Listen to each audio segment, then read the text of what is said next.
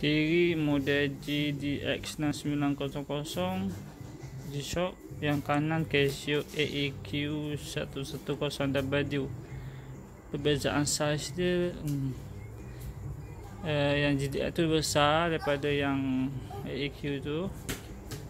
Ini color blue black. Warna orang tak ada ada blue black dengan tujuh tu saiz. Ini saiz lah. Okey